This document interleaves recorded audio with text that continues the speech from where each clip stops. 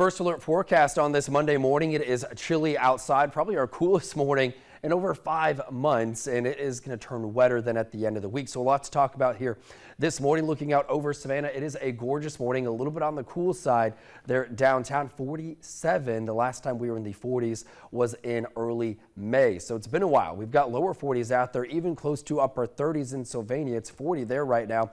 And let's take a look at why this is happening. We've got higher pressure across the area, cooler air still filtering in. We'll be eyeing the Gulf of Mexico for rain chances, though, that come in here toward the end of the week. We'll talk about that here in just a moment. I'll time it out for you on your fair and fair first alert live radar. Quiet, though, today and tomorrow, Wednesday, those rain chances start going up. At least it's nice and dry, though, this morning those 40s around. So if you are a coffee drinker, want to go that hot route, going to hit different today. Going to be nice going into the afternoon. Lots of sunshine temperatures, 70s by uh, noon or so will probably be around 70.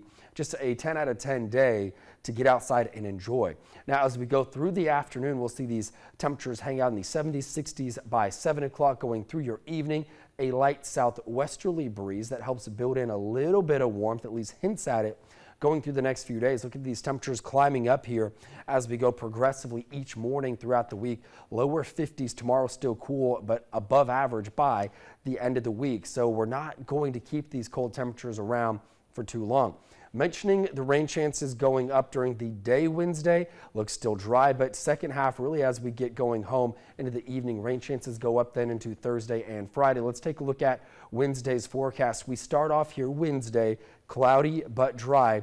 Even into lunchtime looks dry, but watch the moisture, at least how I've got it timed out right now, comes on in going into our evening. Lots of moisture gets thrown our way and then sticks around as well into Thursday. So your first alert forecast shows a lot of rain on the way, at least some uh, showers, good coverage of rain through the end of the week. Improved for the weekend. That's important. You could always get this forecast as well in the WTOC weather app.